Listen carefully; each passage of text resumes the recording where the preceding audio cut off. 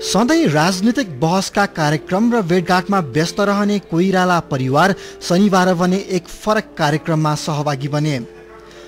एक कार्यक्रम जहाँ कलाले राजनीतिज्ञलाई डोराएको थियो। कार्यक्रममा नेपाली काङ्ग्रेसका सभापति सुशील कोइरालादेखि अभिनेत्री मनिषा कोइरालाको उपस्थिति थियो र सबैजना सुशीला कोइरालाको सम्झनामा उपस्थित भएका थिए। बिपी कोइरालाकी श्रीमती भनेर धेरैले चिन्ने भए पनि सुशीलाले नृत्य प्रशिक्षणमा धेरै योगदान पुर्याउनु भएको थियो।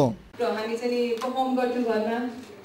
सो आज म जे छु उहाँकै टिचिङले छु म। उहाँ मेरो प्रेरणाको स्रोत हुनुहुन्छ। र सुशीलामा आज जहाँ भए पनि उहाँको आत्मालाई चाहिँ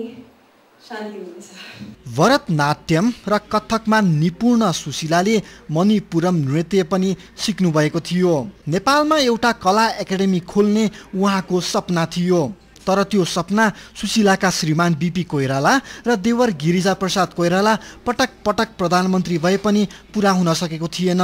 नृत्य प्रशिक्षणमा सुशीला लामो समयसम्म क्रियाशील हुनुहुन्थ्यो।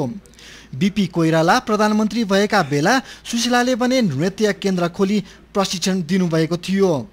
हाम्रो त्यो बेला अहिले जहाँ यो त्रिपुरेश्वरमा यो स्कुल छ यहाँ प्राइम मिनिस्टर बस्नुहुन्थ्यो त्यहाँ डान्स प्रोग्राम पनि भएको छ। जवाहरलाल नेहरूले हेर्नु भएको छ अनि अर्गनाइज गर्ने सुषमामा हो। एभ्रिथिङ सिडेड र त्यो एउटा इन्सपिरेसन उहाँमा थियो कि भोलि म एउटा कुनै न कुनै स्कुल सुरु गर्छु। नाट्य सिद्धार्थ र नातिनी बुहारी युलियाको अग्रसरतामा सुशीला कला एकाडेमी खोलिएको हो।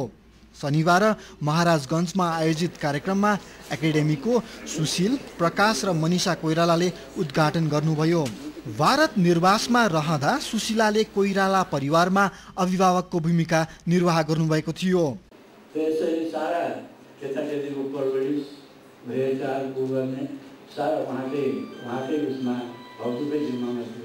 परिवारजनका अनुसार सुशीला भन्नुहुन्थ्यो कला यस्तो अद्भुत चिज हो जसले सबैजनालाई एकतामा बाँध्न सक्छ। पाँच वर्ष अघि सुशीलाको निधन भएको हो र उहाँकै सम्झनामा बनाइएको एकाडेमीले नृत्य नाटक र सङ्गीत सिकाउनेछ। कान्तिपुर समाचारका लागि क्यामेरामा हेमन्त कटवालका साथमा रजनेश भण्डारी काठमाडौँ।